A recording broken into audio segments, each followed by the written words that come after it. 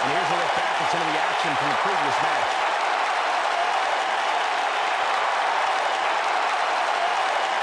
And here's how she finished this thing.